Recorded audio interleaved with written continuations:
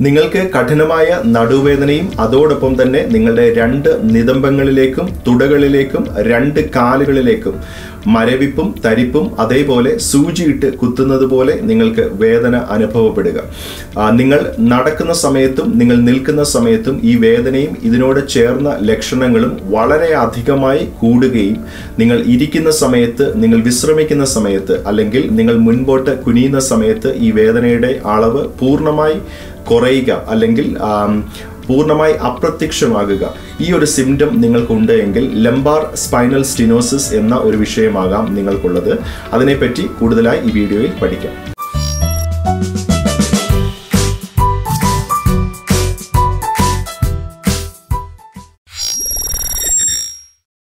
Physio ഹാക്സിന്റെ പുതിയ ഒരു എപ്പിസോഡിലേക്ക് നിങ്ങളേവരെയും സ്നേഹപൂർവം ഞാൻ സ്വാഗതം ചെയ്യുന്നു. ഈ ചാനൽ നിങ്ങൾ ആദ്യമായിട്ടാണ് കാണുന്നെങ്കിൽ എന്നെ ഒന്ന് പരിചയപ്പെടുത്താം. എന്റെ പേര് ടോസി ഞാനൊരു ഫിസിയോതെറപ്പിസ്റ്റ് ആണ്. ഞാൻ ഈ ചാനൽ ക്രിയേറ്റ് ചെയ്തിരിക്കുന്നത് നിങ്ങളുടെ ഭവനത്തിൽ ഒരു ഫിസിയോതെറപ്പിസ്റ്റ് വന്ന് നിങ്ങൾക്ക് നൽകുന്ന എല്ലാ ട്രീറ്റ്മെന്റും അതിന് റിലേറ്റഡ് ആയിട്ടുള്ള അഡ്വൈസസും ഈ ചാനലിലൂടെ നിങ്ങളുടെ മുമ്പിൽ എത്തിക്കുക എന്നുള്ള ഉദ്ദേശത്തോടു കൂടിയാണ്. നിങ്ങൾ ഈ ചാനൽ ലൈക്ക് ചെയ്യണം കമന്റ് ചെയ്യണം സബ്സ്ക്രൈബ് ചെയ്യണം. അതോടൊപ്പം തന്നെ ആ ബെൽ ബട്ടൺ കൂടി നിങ്ങൾ അമർത്തണം. കാരണം എല്ലാ വ്യാഴാഴ്ചയും ഈ ചാനലിൽ അപ്ലോഡ് ചെയ്യപ്പെടുന്ന വീഡിയോകൾ നിങ്ങൾക്ക് നോട്ടിഫിക്കേഷൻ ആയിട്ട് ലഭിക്കേണ്ടതിന് അത് സഹായിക്കും.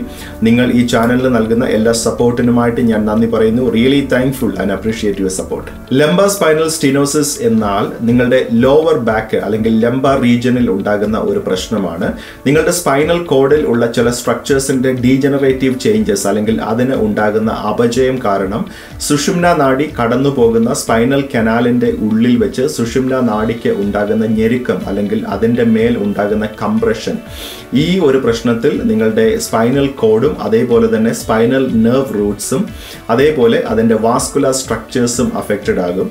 ഇതിനെപ്പറ്റി അല്പം കൂടി ഡീറ്റെയിൽഡ് ആയിട്ട് നമുക്ക് പഠിക്കാം. ലംബ സ്പൈനൽ സ്റ്റിനോസിസ് നിങ്ങളിൽ വരുവാനുള്ള കാരണങ്ങൾ ഒന്ന് ഏജ് റിലേറ്റഡ് ആണ്. അൻപത് വയസ്സിന് മുകളിൽ പ്രായമുള്ളവരിലാണ് ഇത് വളരെ കോമൺ ആയി കണ്ടുവരുന്നത്. എന്നാൽ എന്റെ ക്ലിനിക്കൽ എക്സ്പീരിയൻസിൽ ചെറുപ്പക്കാരായിട്ടുള്ള അനേകരെ ഞാൻ ട്രീറ്റ് ചെയ്തിട്ടുണ്ട്. രണ്ടാമത്തെ കാരണം റിമറ്റോളജിക്കൽ ചേഞ്ചസ് നിങ്ങൾക്ക് റിമറ്റോഡ് ആർത്രൈറ്റിസ് ഉണ്ടെങ്കിൽ അല്ലെങ്കിൽ ഓസ്റ്റിയോ ആർത്രൈറ്റിസ് ഉണ്ടെങ്കിൽ അതേപോലെ ആംഗ്ലോസിംഗ് സ്പോണ്ടിലൈറ്റിസ് ഇത് മുഖാന്തരം നിങ്ങളുടെ സ്പൈനിൽ ഉള്ള ആർത്രൈറ്റിക് ചേഞ്ചസ് കാരണം നിങ്ങൾക്ക് ഈ ലംബ സ്പൈനൽ സ്റ്റിനോസിസ് വരാം. മൂന്ന് നിങ്ങളുടെ നിങ്ങൾക്ക് സ്പൈനൽ കോഡിൽ അല്ലെങ്കിൽ സ്പൈനൽ സർജറീസ് നിങ്ങൾ നടത്തിയിട്ടുണ്ട്. സ്പൈനൽ നിങ്ങൾ ശസ്ത്രക്രിയ നടത്തിയിട്ടുണ്ട് എങ്കിൽ അതിനുശേഷം നിങ്ങളുടെ സ്പൈനൽ കോഡിൽ ഉള്ള ഫൈബ്രോട്ടിക് ചേഞ്ചസ് അത് മുഖാന്തരം ലംബ സ്പൈനൽ സ്റ്റിനോസിസ് വരാം. നാലാമതായി കൺജനിറ്റൽ കോസ് അല്ലെങ്കിൽ ജന്മന അവരുടെ സ്പൈനൽ കനാലിന്റെ വിട്ട് അത് കുറയുന്നത് കാരണം ഈ സ്പൈനൽ സ്റ്റിനോസിസ് അവർക്ക് സംഭവിക്കാം. അടുത്തത് അക്വൈഡ് കോസ് അക്വൈഡ് കോസ് എന്ന് പറയുന്നത് ഡീജനറേറ്റീവ് സ്പോണ്ടിലോസിസ് എന്ന ഒരു കണ്ടീഷൻ അതേപോലെ തന്നെ ഡീജനറേറ്റീവ് സ്പോണ്ടിലോലിസ്തിസിസ് എന്ന ഒരു കണ്ടീഷൻ ഈ വിഷയം സംബന്ധിച്ച് അല്പം കൂടി ഡീറ്റെയിൽഡ് ആയിട്ട് നമുക്ക് പഠിക്കാം. ലെംബ സ്പൈനൽ സ്റ്റിനോസിസ് നിങ്ങളിൽ വരുവാനുള്ള കാരണങ്ങളിൽ ഡീജനറേറ്റീവ് സ്പോണ്ടിലോസിസ് എന്ന ഒരു അവസ്ഥയെപ്പറ്റി നമുക്കൊന്ന് നോക്കാം. ഡീജനറേറ്റീവ് സ്പോണ്ടിലോസിസിൽ ആദ്യമായി സംഭവിക്കുന്നത് ഇവിടെ നിങ്ങൾ നോക്കിക്കഴിഞ്ഞാൽ കാണാം. ഇതാണ് ഈ വെർട്ടിബ്ര എന്ന് പറയുന്ന വെർട്ടിബ്രൽ ബോഡിയാണിത്. ഈ രണ്ട് വെർട്ടിബ്രയുടെ നടുവിൽ കാണുന്ന ഈ ജെല്ലി ലൈക്ക് സബ്സ്റ്റൻസ് അല്ലെങ്കിൽ ഇതാണ് ഇൻഡവെർട്ടിബ്രൽ ഡിസ്ക് എന്ന് പറയുന്നത്. ഈ ഡിസ്ക് ജെല്ലി ലൈക്ക് ആ ഇൻഡവെർട്ടിബിൾ ഡിസ്ക് അത് പുറകിലേക്ക് തെന്നി മാറുക. ഈ തെന്നി മാറുന്നതിന്റെ കാരണം വേറെ ആണ് അല്ലെങ്കിൽ തേയ്മാനമാണ്. ഇത് പുറകിലേക്ക് തെന്നി മാറി ദേ ഈ കാണുന്ന യെല്ലോ വൈറ്റ് ഇവിടെ കാണുന്ന അല്ലെങ്കിൽ മഞ്ഞ കളറിൽ കാണുന്ന സ്പൈനൽ നെർവ് റൂട്ട് അതിൽ പോയി കംപ്രഷൻ ഉണ്ടാക്കുന്നതാണ് ഈ ലംബ സ്പൈനൽ സ്റ്റിനോസിസ് നിങ്ങൾക്ക് വരുവാനുള്ള കാരണം. അതേപോലെ തന്നെ ഇവിടെ നിങ്ങൾ നോക്കുകയാണെങ്കിൽ ഈ ഒരു വെർട്ടിബ്ര അടുത്ത വെർട്ടിബ്രയുമായി കണക്ട് ചെയ്തിരിക്കുന്ന ജോയിൻസ് നിങ്ങൾക്ക് ഇവിടെ കാണുവാൻ കഴിയും. ഈ ജോയിന്റിന്റെ പേരാണ് ഫേസെഡ് ജോയിൻസ് എന്ന് പറയും. ആ ഫേസെഡ് ജോയിൻസിലുള്ള തേയ്മാനം കാരണം ഈ ഫേസെഡ് ജോയിൻസ് അത് അതിൽ ഉള്ള അപജയം കാരണം ഈ ലെമ്പ സ്പൈനൽ സ്റ്റിനോസിസ് ഇതേപോലെ തന്നെ ആ നെർവ് റൂട്ടിൽ പോയി കംപ്രഷൻ ഉണ്ടാക്കുകയും അത് മുഖാന്തരം നിങ്ങൾക്ക് വരാം. അതേപോലെ തന്നെയാണ് നിങ്ങളിവിടെ നോക്കിക്കഴിഞ്ഞു കഴിഞ്ഞാൽ ഈ ഒരു വെർട്ടിബ്രയും അടുത്ത വെർട്ടിബ്രയും തമ്മിൽ കണക്ട് ചെയ്തിരിക്കുന്ന ഒരു കശേരു. ആ കശേരുവിന്റെ പേരാണ് ലിഗമെന്റം ഫ്ലേവം എന്ന് പറയുന്നത്. ഈ എല്ലാ വെർട്ടിബ്രയുടെയും ഈ ഭാഗത്ത് ആ ലിഗമെന്റം ഫ്ലേവം ഇതേപോലെ കണക്ട് ചെയ്തിരിക്കുന്നതായിട്ട് നിങ്ങൾക്ക് കാണാം. ആ ലിഗമെന്റം ഫ്ലേവത്തിൽ ഉണ്ടാകുന്ന തിക്കനിങ് അല്ലെങ്കിൽ അതിലുണ്ടാകുന്ന കട്ടിയാകൽ ലിഗമെന്റം ഫ്ലേവം ഹൈപ്പർട്രോഫി കാരണം നിങ്ങൾക്ക് ഈ ലെംബാ സ്പൈനൽ സ്റ്റിനോസിസ് അത് ഈ ഒരു പോസ്റ്റീരിയർ കമ്പാർട്ട്മെന്റ് അല്ലെങ്കിൽ ആ ഒരു പോസ്റ്റീരിയർ പാർട്ടിൽ പ്രഷർ ഉണ്ടാക്കുകയും അത് കാരണം നിങ്ങൾക്ക് കഠിനമായ ഈ സിംറ്റംസിന്റെ പ്രൊവോക്കേഷൻ നിങ്ങൾക്ക് വരും. ലെംബ സ്പൈനൽ സ്റ്റിനോസിസിന്റെ ഒരു ടിപ്പിക്കൽ എം ആർ ഐ ഞാൻ നിങ്ങൾക്ക് ഇവിടെ കാണിച്ചു തരാം. നിങ്ങൾ ഈ എം ആർ ഐയിൽ നോക്കുകയാണെങ്കിൽ ഈ കാണുന്ന വൈറ്റ് ട്യൂബ് ലൈക്ക് സ്ട്രക്ചർ ഇതിനെയാണ് ബേസിക്കലി നമ്മുടെ സ്പൈനൽ കോഡ് അല്ലെങ്കിൽ സുഷുമ്ന നാഡി എന്ന് പറയുന്നത്. അതിന്റെ മുൻപിൽ നിങ്ങൾ നോക്കുകയാണെങ്കിൽ ദേ ഈ കാണുന്ന ബോണി ലൈക്ക് സ്ട്രക്ചേഴ്സ് അതാണ് നമ്മുടെ വെർട്ടിബ്രൽ ബോഡി എന്ന് പറയുന്നത്. ഈ രണ്ട് വെർട്ടിബ്രൽ ബോഡിയുടെ നടുവിൽ നിങ്ങൾ ഈ കാണുന്ന വൈറ്റ് ജെല്ലി പോലെ കാണുന്ന ഈ സബ്സ്റ്റൻസ് ആണ് നമ്മുടെ ഇൻഡോവെർട്ടിബ്രൽ ഡിസ്ക് ഞാൻ ഈ എം ആർ ഐയിൽ കൊടുത്തിരിക്കുന്ന ഈ ഒരു ആരോസ് നിങ്ങൾ നോക്കിക്കഴിഞ്ഞു കഴിഞ്ഞാൽ കാണാം. ഈ പോസ്റ്റീരിയർ സൈഡിൽ നിന്ന് ഉള്ള സ്പൈനൽ കോഡിലേക്കുള്ള കംപ്രഷനാണ് ഞാൻ ഈ ആരോ കൊടുത്തിരിക്കുന്നത്. അവിടെ നിങ്ങൾ നോക്കിക്കഴിഞ്ഞാൽ കാണാം ഈ സ്പൈനൽ കോഡിനെ ഈ പോസ്റ്റീരിയർ സൈഡിൽ നിന്നുള്ള ആ പ്രഷർ കാരണം സ്പൈനൽ കോഡിനെ നിങ്ങൾ ഇവിടെ കംപ്രസ് ചെയ്തിരിക്കുന്നതായിട്ട് കാണാം. അതേപോലെ ഇവിടെ നിങ്ങൾ നോക്കിക്കഴിഞ്ഞാൽ കാണാം. ഇവിടെ ഈ ആര വെച്ചിരിക്കുന്നത് നോക്കിക്കഴിഞ്ഞാൽ കാണാം. ഇതാണ് ഈ ഈ ലംബ സ്പൈനൽ സ്റ്റിനോസിസിന്റെ ടിപ്പിക്കലായിട്ടുള്ള ഒരു എം ആർ ഐ അവസാനത്തെ കാരണമായ ഡീജനറേറ്റീവ് സ്പോണ്ടിലോ ലിസ്തിസിസ് എന്നാൽ എന്ത് എന്ന് ഞാൻ നിങ്ങൾക്ക് കാണിച്ചു തരാം. നിങ്ങൾ ഇവിടെ നോക്കുകയാണെങ്കിൽ ഒരു വെർട്ടിബ്ര അടുത്ത വെർട്ടിബ്രയുടെ മുകളിൽ ഇങ്ങനെ അടുക്കി അടുക്കി വെച്ചിരിക്കുകയാണ്. അപ്പോൾ അതിനെ സപ്പോർട്ട് ചെയ്യുന്ന വളരെ ഇമ്പോർട്ടന്റ് ആയിട്ടുള്ള ഒരു സ്ട്രക്ചറാണ് പാസ് ഇൻട്രാ ആർട്ടിക്കുലാരിസ് എന്ന് പറയുന്ന ഒരു സ്ട്രക്ചർ നിങ്ങളിവിടെ നോക്കിക്കഴിഞ്ഞ് കഴിഞ്ഞാൽ ഈ ഫേസ് ഫേസഡ് ജോയിന്റ് നിങ്ങൾക്ക് വലത് ഭാഗത്തും ഇടത് ഭാഗത്തും നിങ്ങൾക്ക് കാണുവാൻ കഴിയും.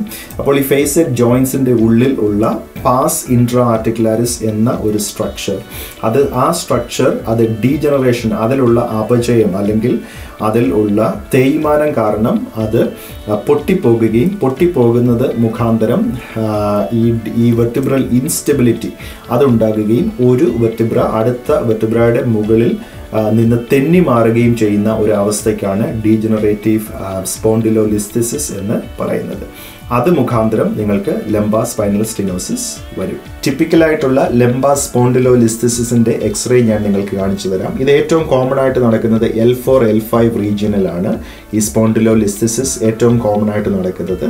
ഇവിടെ നിങ്ങൾ നോക്കിക്കഴിഞ്ഞു കഴിഞ്ഞാൽ ഇതാണ് ഈ വെർട്ടിബ്രൽ ബോഡി എന്ന് പറയുന്നത്. നിങ്ങൾ ഇവിടുന്ന് പുറകിലേക്ക് നോക്കിക്കഴിഞ്ഞു കഴിഞ്ഞാൽ ഈ സ്പൈനസ് പ്രോസസ് നിങ്ങൾക്ക് കാണാൻ കഴിയും. അതേപോലെ തന്നെ ഫേസഡ് ജോയിൻസ് നിങ്ങൾക്ക് കാണുവാൻ കഴിയും. അപ്പോൾ ഈ എൽ ഫോർ എൽ ഫൈവ് റീജിയനിൽ നിങ്ങൾ ഇവിടെ നോക്കിക്കഴിഞ്ഞു കഴിഞ്ഞാൽ ഈ ഡോട്ടഡ് ലൈൻ നിങ്ങൾ ഫോളോ ചെയ്ത് വരുന്നുവെങ്കിൽ ഇവിടെ ആ ഡോട്ടഡ് ലൈൻ അല്ലെങ്കിൽ അതിന്റെ അലൈൻമെന്റിനുള്ള വ്യത്യാസം നിങ്ങൾക്ക് കാണുവാൻ കഴിയും. ഈ എൽ ഫോർ എൽ ഫൈവ് റീജിയനിൽ ഒരു വെർട്ടിബ്രയുടെ മുകളിൽ നിന്ന് അടുത്ത വെർട്ടിബ്ര മുൻപോട്ട് ഇതേപോലെ തെന്നി മാറിയിരിക്കുന്നതായിട്ട് നിങ്ങൾക്ക് കാണുവാൻ കഴിയും. ഇതാണ് ടിപ്പിക്കൽ സ്പോണ്ടിലോ ലിസ്തിസിന്റെ എക്സ്റേ അടുത്തത് ലെംബ സ്പൈനൽ സ്റ്റീനോസിസ് ഉള്ള പേഷ്യൻസ് കംപ്ലൈന്റ് ചെയ്യുന്ന പ്രകടമായിട്ടുള്ള ലക്ഷണങ്ങൾ ഏതൊക്കെയെന്ന് ഞാൻ നിങ്ങൾക്ക് പറഞ്ഞു തരാം. ടിപ്പിക്കലായിട്ട് എന്റെ അടുക്കൽ വരുന്ന പേഷ്യൻസ് എല്ലാവരും കംപ്ലൈന്റ് ചെയ്യുന്ന ഒരു കാര്യമാണ്. അവർക്ക് ഉണ്ടാകുന്ന കഠിനമായിട്ടുള്ള ക്ഷീണം ഒന്ന് എക്സ്ട്രീം ഫെറ്റീഗ്നെസ് രണ്ട് എന്ന് പറയുന്നത് അവരുടെ കാലുകളിൽ ഉള്ള ബലക്കുറവും ഭാരക്കൂടുതലും എന്ന് പറഞ്ഞാൽ അവർ നടക്കുവാൻ തുടങ്ങുന്ന സമയത്ത് കഷ്ടിച്ച് ഒരല്പ ദൂരം അവർക്ക് നടക്കുവാൻ കഴിയും. നടക്കുവാൻ നടന്നതിന് ശേഷം അവർ പറയും എന്റെ കാലുകൾ കുഴഞ്ഞു പോകുന്നു. എന്റെ കാലുകൾക്ക് ബലമില്ലാത്തതുപോലെ അനുഭവിക്കുക. അതാണ് ടിപ്പിക്കലായിട്ടുള്ള ഒരു സിംറ്റമാണ് മൂന്ന് അവരുടെ കാലുകളിൽ ഉണ്ടാകുന്ന മസിൽ ക്രാംസ് അല്ലെങ്കിൽ പേശികൾ കോച്ചി പിടിക്കുന്ന ഒരു അവസ്ഥ. നാലാമതായി ഞാൻ ഈ പറയുവാൻ പോകുന്ന സിംറ്റം എന്ന് പറയുന്നത് ഈ ലംബ സ്പൈനൽ സ്റ്റിനോസിസിന്റെ ക്ലാസിക്കൽ സൈൻ ആണ്. അവരുടെ നടുഭാഗത്തും അതേപോലെ രണ്ട് നിതംബങ്ങളിലേക്കും രണ്ട് തുടകളിലേക്കും രണ്ട് കാലുകളിലേക്കും മരവിപ്പും തരിപ്പും അതേപോലെ സൂചിയിട്ട് കുത്തുന്നത് പോലെയും ഉള്ള കഠിനമായിട്ടുള്ള വേദന അവർ അനുഭവിക്കപ്പെടുക. ഈ വേദന പ്രത്യേകിച്ച് അവർ നിൽക്കുന്ന സമയത്തും അതേപോലെ അവർ നടക്കുന്ന സമയത്തും ഈ വേദന വളരെയധികം കഠിനമാകുകയും എന്നാൽ അവർ ഇരിക്കുന്ന സമയത്തും അതേപോലെ മുൻപോട്ട് കുനിയുന്ന സമയത്തും അതേപോലെ അവർ വിശ്രമിക്കുന്ന സമയത്തും ഈ വേദന പൂർണമായി അപ്രത്യക്ഷമാകുകയോ അല്ലെങ്കിൽ ആ വേദനയുടെ അളവ് കുറയുകയോ ചെയ്യുന്നത്. ഈ ഒരു ക്ലാസിക്കൽ സിംറ്റമാണ് നിങ്ങളുടെ അടുക്കൽ ഒരു പേഷ്യന്റ് വന്ന് ഈ ഒരു പ്രശ്നമായിട്ട് ഈ ഒരു സിംറ്റമായിട്ട് നിങ്ങളുടെ അടുക്കൽ പറയുന്നുവെങ്കിൽ നിങ്ങൾ ഉറപ്പിച്ചോളൂ. അത് ലംബ സ്പൈനൽ സ്റ്റിനോസിസ് ആണ്. ഒന്ന്. അതേപോലെ തന്നെ എന്റെ അടുക്കൽ വരുന്ന പേഷ്യന്റ് കംപ്ലൈന്റ് ചെയ്യുന്ന വേറെ ഒരു ക്ലാസിക്കൽ സിംറ്റമാണ് അവർ പടി കയറുന്ന സമയത്ത് അനായാസേന ഈസി ആയിട്ട് അവർക്ക് പടികൾ കയറുവാൻ കഴിയും. എന്നാൽ അവർ പടികൾ ഇറങ്ങുന്ന സമയത്ത് വളരെ കഠിനമായിട്ടുള്ള വേദന. പ്രത്യേകിച്ച് ഈ സിംറ്റംസ് അത് പ്രൊവോക്ക് ചെയ്യുന്നത് കാരണം അവർക്ക് പടികൾ ഒട്ടും ഇറങ്ങുവാൻ കഴിയാതെ അവരെ ബുദ്ധിമുട്ടുക. എന്നെ കാണുന്ന ക്ലിനിഷ്യൻസ് നിങ്ങൾ മനസ്സിലാക്കേണ്ടത് സയാറ്റിക് റിലേറ്റഡ് ആയിട്ടുള്ള പ്രശ്നമാണെങ്കിൽ അല്ലെങ്കിൽ ഡിസ്കോജനിക് പ്രോബ്ലം ആണ് എങ്കിൽ യൂഷ്വലി സിംറ്റമാറ്റിക് പ്രസന്റേഷൻ എന്ന് പറയുന്നത് വൺ സൈഡ് ആയിരിക്കും. അല്ലെങ്കിൽ യൂണിലാറ്ററൽ ഒറ്റ കാലിൽ മാത്രമേ ആ സിംറ്റംസ് കാണുകയുള്ളൂ. എന്നാൽ ലെംബാ സ്പൈനൽ സ്റ്റിനോസിസ് എന്ന് പറയുന്നത് യൂഷ്വലി സിംറ്റംസ് ബൈലാറ്ററൽ പ്രസന്റിങ് ആയിരിക്കും. അത് രണ്ട് കാലുകളിലേക്ക് പ്രത്യേകിച്ച് ഏസിമെട്രിക്കൽ സിംറ്റമാറ്റിക് പ്രസന്റേഷൻ എന്ന് പറയുന്നത് ഒരു ഭാഗത്ത് നിങ്ങളുടെ ഇപ്പം വലത് ഭാഗത്തെ നടുവിനും നിതംബത്തിന്റെ ഭാഗത്തും ഉണ്ടെങ്കിൽ ഇടത് ഭാഗത്തെ നടുവും ആ, നിതംബത്തിന്റെ ഭാഗത്തും ഈ സിംറ്റംസ് കാണുകയില്ല. മറിച്ച് ഇടത് ഭാഗത്തെ മുട്ടിന്റെ ഭാഗത്തായിരിക്കും. എന്നാൽ ഇടത് ഭാഗത്തെ മുട്ടിന്റെ ഭാഗത്ത് ഈ സിംറ്റംസ് പ്രസന്റ് ചെയ്യുന്നുവെങ്കിൽ വലത് മുട്ടിന്റെ സ്ഥലത്ത് ഈ പ്രശ്നം കാണുകയില്ല. വലത് ഭാഗത്ത് ഒരു പക്ഷേ പാദത്തിലായിരിക്കാം ഈ പ്രശ്നം നിങ്ങൾക്ക് പ്രസന്റ് ചെയ്യുക. അങ്ങനെ ഏസിമെട്രിക്കൽ ആയിട്ടുള്ള സിംറ്റമാറ്റിക് പ്രസന്റേഷൻ ആണ് ഈ ലംബ സ്പൈനൽ സ്റ്റിനോസിസിന്റെ പ്രധാനപ്പെട്ട ഒരു ക്ലാസിക്കൽ സൈൻ അല്ലെങ്കിൽ ക്ലാസിക്കൽ സിംറ്റമാറ്റിക് പ്രസന്റേഷൻ എന്ന് പറയുന്നത്. ഇതിനോടൊപ്പം തന്നെ ഞാൻ ഒരു കാര്യം കൂടെ നിങ്ങളോട് നിങ്ങളുടെ ശ്രദ്ധയിൽ കൊണ്ടുവരാൻ ആഗ്രഹിക്കുന്നു. എന്റെ അടുക്കൽ ഈ റീസെന്റ്ലി ഒരു പേഷ്യന്റ് നാൽപ്പത് വയസ്സിന് മുകളിൽ പ്രായമുള്ള താൻ തനിക്ക് നടക്കുവാൻ കഴിയാതെ ഒരു ടു വീൽ ഫ്രെയിം വെച്ചിട്ട് എന്റെ അടുക്കൽ ക്ലിനിക്കിൽ വന്നു. ആ പേഷ്യന്റിനോട് ഞാൻ കാര്യങ്ങളൊക്കെ ചോദിച്ച് അതേപോലെ തന്നെ സ്പൈനൽ അസസ്മെന്റിൽ റെഡ് ഫ്ലാഗ് സെഷൻ ഞാൻ പേഷ്യന്റുമായിട്ട് ഡിസ്കസ് ചെയ്തുകൊണ്ടിരുന്ന സമയത്ത് പേഷ്യന്റ് ഇപ്രകാരം പറഞ്ഞു. പേഷ്യന്റിന് യൂറിനറി റിട്ടൻഷൻ അല്ലെങ്കിൽ മൂത്രം ഒഴിക്കുവാൻ ആഗ്രഹമുണ്ട് പക്ഷേ മൂത്രം പോകുന്നില്ല. അതേപോലെ തന്നെയാണ് ബവൽ ഇൻകോണ്ടിനൻസ് അല്ലെങ്കിൽ മലം കൺട്രോൾ ഇല്ലാതെ പോകുക. അതോ അതേപോലെ തന്നെയാണ് പേഷ്യന്റിന് സാഡിൽ അനസ്തേഷ്യ അല്ലെങ്കിൽ ബോട്ടം ഭാഗത്ത് തനിക്ക് മരവിപ്പ് ആ ഭാഗത്ത് സെൻസേഷൻ ഒന്നുമില്ലാതെ മരവിപ്പ് അനുഭവിക്കുക. രണ്ട് കാലുകളിലേക്കും എക്സ്ട്രീം ആയിട്ടുള്ള symptomatic presentation bilateral symptomatic presentation രണ്ട് കാലുകളിലേക്കും തരിപ്പും മരവിപ്പും അതേപോലെ തന്നെ ബലക്കുറവ് കാൽ എക്സ്ട്രീംലി ഹെവിയാണ് അതേപോലെ തന്നെ കാലിന് ബലക്കുറവ് അനുഭവപ്പെടുക. തനിക്ക് നടക്കുവാൻ കഴിയുന്നില്ല. ഈ ഒരു സിംറ്റം എന്റെ എന്റെ മുൻപിൽ അസസ്മെന്റിൽ പ്രസന്റ് ചെയ്ത സമയത്ത് ഞാൻ ചെയ്തത് കോഡ ഇക്വന എന്ന ഒരു കണ്ടീഷനാണ് അസ് സൂൺ ആസ് പോസിബിൾ ഞാൻ ചെയ്തത് ഈ പേഷ്യന്റിനെ ആംബുലൻസ് വിളിച്ച് എന്റെ അടുത്തുള്ള ഹോസ്പിറ്റലിന്റെ എമർജൻസിയിലേക്ക് ഞാൻ ആ പേഷ്യന്റിനെ ട്രാൻസ്ഫർ ചെയ്തു. കാരണം കോഡ ഇക്വന എന്ന ഒരു സിംറ്റം വളരെ ഡേഞ്ചറസ് ആണ്. അസ് സൂൺ ആസ് പോസിബിൾ ഇതിന് സർജറി ആവശ്യമാണ്. വിതിൻ എട്ട് മണിക്കൂറിന്റെ അകത്തിൽ സർജറി ചെയ്യുന്നുവെങ്കിൽ ഇതിന്റെ മോട്ടോർ ആൻഡ് സെൻസറി റീഗെയിൻ അല്ലെങ്കിൽ അതിനെ റിക്കവറി ചെയ്യുവാൻ കഴിയും. അതേപോലെ തന്നെ അവരുടെ ബ്ലാഡർ ആൻഡ് ബവൽസിനെ റിക്കവറി ചെയ്യുവാൻ കഴിയും എന്നതിനെപ്പറ്റി നടത്തിയ പഠനങ്ങൾ പറയുന്നു. സോ നിങ്ങളുടെ അടുക്കൽ വരുന്ന പേഷ്യൻസിന് ഈ ഒരു സിംറ്റമാറ്റിക് പ്രസന്റേഷൻ ഉണ്ട് എങ്കിൽ നിങ്ങൾക്കൊന്നും ചെയ്യുവാൻ കഴിയുകയില്ല. അസ് സൂൺ ആസ് പോസിബിൾ പേഷ്യന്റിനെ എമർജൻസിയിലോട്ട് ട്രാൻസ്ഫർ ചെയ്യുക. എമർജൻസി ഡീകംപ്രഷൻ സർജറി ആവശ്യമാണ്. കോഡ ഇക്വേന സിൻഡ്രോം എന്നെ കാണുന്ന ആർക്കെങ്കിലും ഈ ഒരു പ്രശ്നമുണ്ട് എങ്കിൽ അസൂൺ ആസ് പോസിബിൾ നിങ്ങൾ ആംബുലൻസ് വിളിച്ച് നിങ്ങളുടെ ഹോസ്പിറ്റലിൽ അല്ലെങ്കിൽ എമർജൻസിയിൽ പോയി അഡ്മിറ്റ് ആകുക. ഇമ്മീഡിയറ്റ് ആയിട്ട് ഡീകംപ്രഷൻ സർജറി ആവശ്യമാണ്. ലംബ സ്പൈനൽ സ്റ്റിനോസിസിന്റെ ഫസ്റ്റ് സ്റ്റെപ്പ് ഓഫ് ഡയഗ്നോസിസ് എന്ന് പറയുന്നത് എക്സ്റേ ആണ്. നിങ്ങളുടെ ഫേസഡ് ജോയിൻസിൽ ഉള്ള ഓസ്റ്റിയോഫൈഡ് ഫോർമേഷൻസ് അല്ലെങ്കിൽ സ്പൈനൽ സ്ട്രക്ചേഴ്സിലുള്ള ഡീജനറേറ്റീവ് ചേഞ്ചസ് മനസ്സിലാക്കുവാൻ വേണ്ടി എക്സ്റേ എടുക്കുന്നത് നല്ലതാണ്.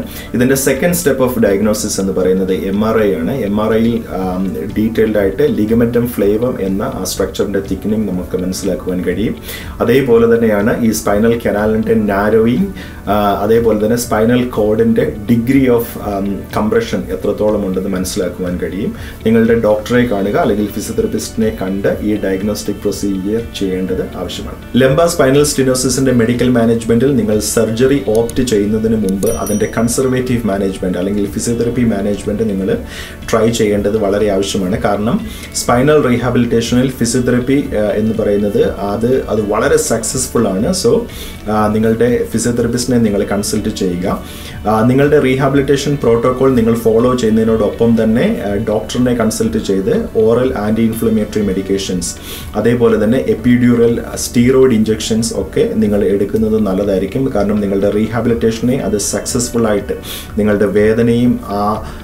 കഠിനമായിട്ടുള്ള സിംറ്റംസിനെയൊക്കെ ഒന്ന് കുറച്ച് റീഹാബിലിറ്റേഷൻ സക്സസ്ഫുൾ ആയിട്ട് കംപ്ലീറ്റ് ചെയ്യുന്നതിന് അത് സഹായിക്കും. എന്നാൽ നിങ്ങളുടെ കൺസർവേറ്റീവ് മാനേജ്മെന്റ് ഫിസിയോതെറപ്പി റീഹാബിലിറ്റേഷൻ അത് സക്സസ് ആയില്ല എങ്കിൽ നിങ്ങൾക്ക് സർജറി നിങ്ങൾക്ക് ഓപ്റ്റ് ചെയ്യാം.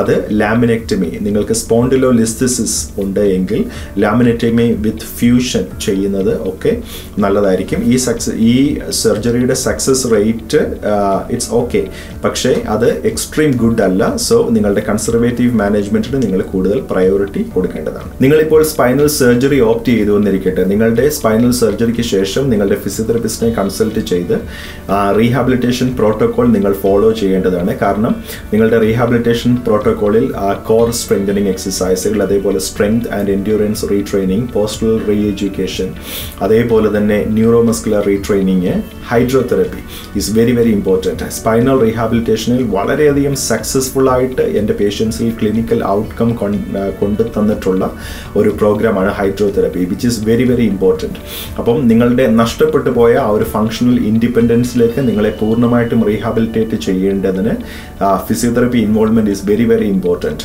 so അവിടെയാണ് നിങ്ങളുടെ ഫിസിയോതെറപ്പിസ്റ്റിനെയും നിങ്ങളുടെ ഡോക്ടറെയും നിങ്ങളെ കൺസൾട്ട് ചെയ്യേണ്ടതിന്റെ ആവശ്യകത.